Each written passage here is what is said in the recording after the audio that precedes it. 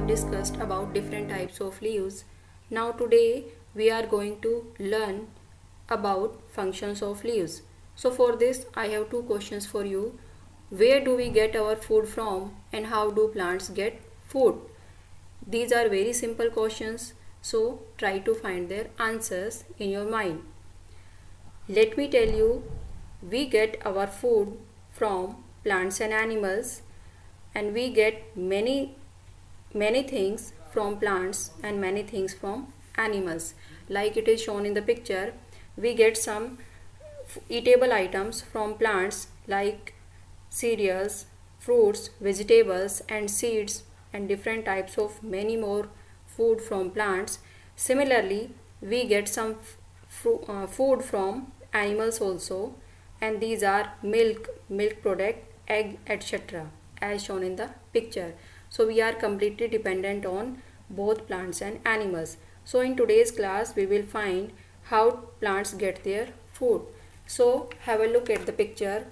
If we take a plant and remove all its leaves and provide it with sunlight and water what will happen with the plant?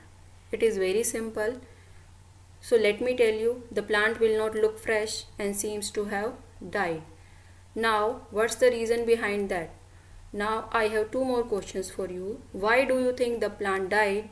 And the second question, what do you think the leaves do for the plant? So, its answer is the plant died because it did not get food.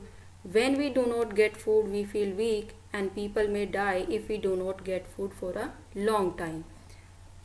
Now let's discuss main function of a leaf. Means what does leaf do for a plant. So as shown in the picture, leaves make food, food for the plant and they take help from air, water and sunlight.